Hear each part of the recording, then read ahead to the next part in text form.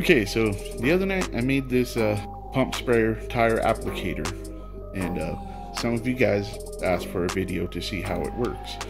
Now, I've used it on uh, two vehicles, and I will say this, it does work very well.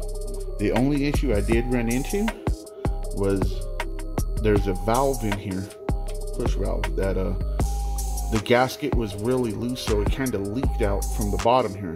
But what I did is I went ahead and put some Teflon tape in there, put the gasket back on, works fine.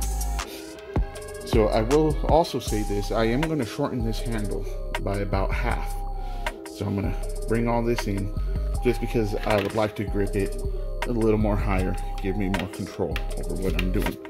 But it does work, and the way that it works is you put it on and you do a quick pump.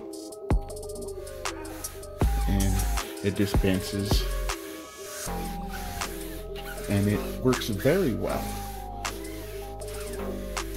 And it gets into every nook and cranny. Uh, the tire dressing I'm using right now is tire kicker from chemical guys. But yeah it works very well. We'll dispense some more like I said, I would like to have the handle just a little more up to about right here, where I feel I'm in more control. But yes, it does get right up into the crevices, and it works really, really well. So right on. You guys get out there and get to detail.